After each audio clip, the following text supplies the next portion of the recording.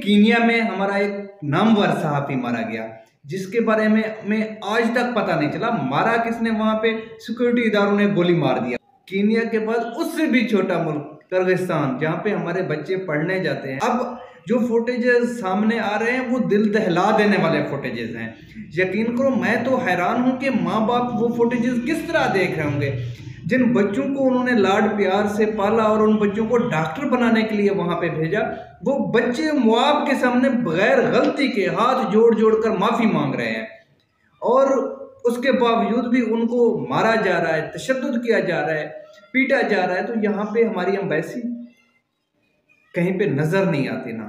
बच्चे बेचारे यूट्यूब पे टिकटॉक पे, हर फोरम पे जाकर चीख रहे हैं, चिल्ला रहे हैं कि हमारी मदद करो।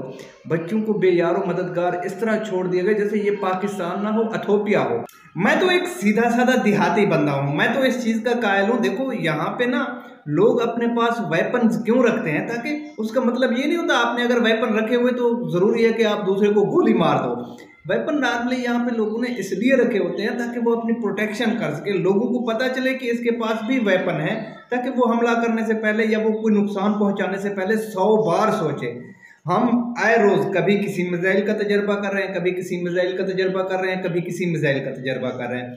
हमारे हुक्मरानों में इतनी गैरत नहीं है कि वो किर्गिस्तान जैसे एक छोटे से, इतने से मुल्क को कहें कि खबरदार अगर हमारे किसी एक स्टूडेंट को भी बिला वजह कोई नुकसान पहुँचा तो हम तुम्हारी ऐसी की तैसी कर देंगे।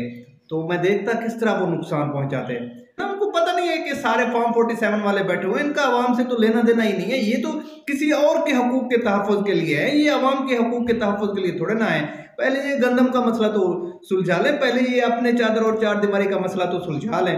उसके बाद ये हमसे बात करेंगे। उनको पता है, इनमें इतनी गैरत ही नहीं है कि वहाँ पे आके बारह हज़ार बच्चे इस वक्त फंसे हुए हैं और बच्चों के जो फुटेजेस हैं, मैं वो यहाँ पे यूट्यूब पे लगा नहीं सकता। आप लोगों से रिक्वेस्ट है कि आप लोग जाके देखें, इस वक्त ट्विटर पे किर्गिस्तान टॉप ट्रेंड कर रहा है। वहाँ पे जाके देखे कि किस तरह बच्चों के साथ वहाँ पे मार पिटाई की जा रही है। मैं तो इस, ये सोच सोच कर हैरान होता हूँ कि वो माँ बाप किस तरह बर्दाश्त कर रहे होंगे, जिन्होंने अपने बच्चों को वहाँ पे डॉक्टर बनने के लिए भेजा है। मशवरा भी है, किर्गिस्तान वालों को वो लोग कह रहे हैं कि ये मुआब हमसे संभाला नहीं जा रहा।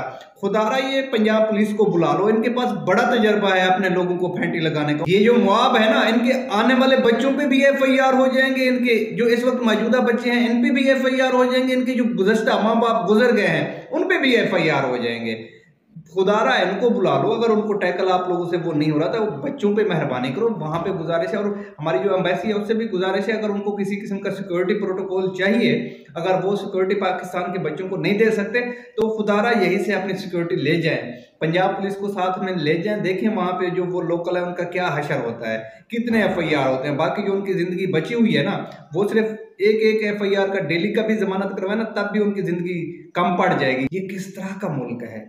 हमारे जो फॉर्म फोर्टी सेवन वाले हजरात हैं, वो तो अभी तक कहीं पे नज़र ही नहीं आए। वो अपने शशकों में लगे हुए हैं। कोई टिकटॉक बना रहा है, कोई पुलिस की वर्दी पहन के घूम रही है तो कोई कभी क्या कर रहे हैं, कभी क्या कर रहे हैं, ना किसानों का पता है, ना बच्चों का पता है, ना बिजली के बिलों का पता है, ना पेट्रोल का पता है, किसी चीज़ का पता नहीं है, अपनी धुन में लगे हुए हैं, ना आवाम का उनको पता है।